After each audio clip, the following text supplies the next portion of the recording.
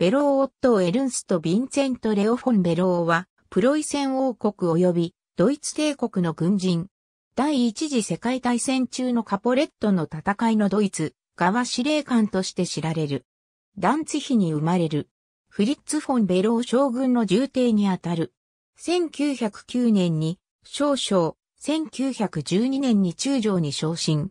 第一次世界大戦勃発直前の1914年8月1日に第一後備軍団司令官に任命される。東プロイセングムビン年の戦いの後の同月30日に不評大将に昇進。ついでマズール湖畔の戦いを指揮した。11月に第8軍、1915年5月に第一軍司令官に就任。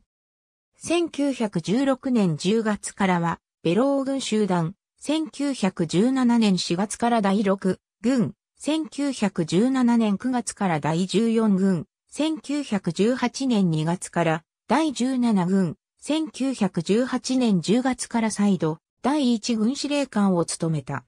停戦後の1918年12月から第セベンティン軍団司令官及び義勇軍の西部郷土防衛軍司令官を務めた。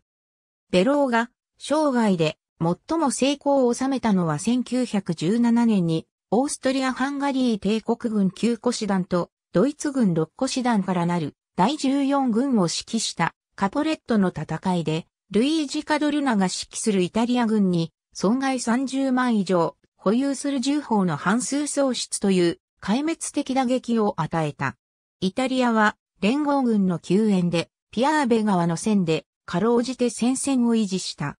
1919年に退役し、第二次世界大戦中にゲッティンゲン近郊ベーゼンハウゼンで死去した。ありがとうございます。